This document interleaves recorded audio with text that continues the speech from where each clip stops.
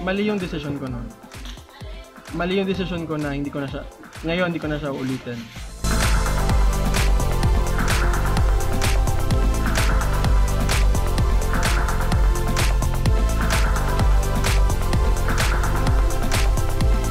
may mga bagay na may mga bagay ako nagawa dati na parang naging impulsive ako na dahil bata pa siguro ako or mga may mga bagay na hindi ako napag-isipan yung mga kumbaga yung mga life-changing decisions before ng bata hindi ko hindi ko pa naiisip yung importance ng mga ganong kalalaking decision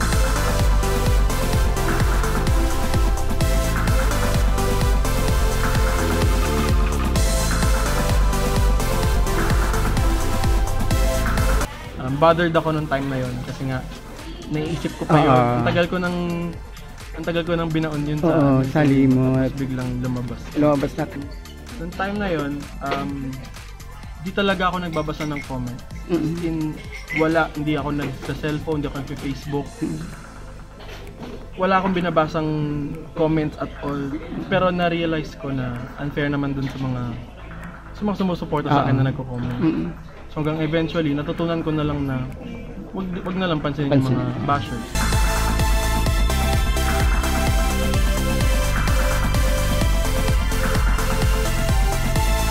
Pass na po, parang lumipas na eh. Parang Opo, et, eto na ako ngayon. Masaya na ako sa kung anong masaya na ako sa kung anong nangyari sa buhay ko.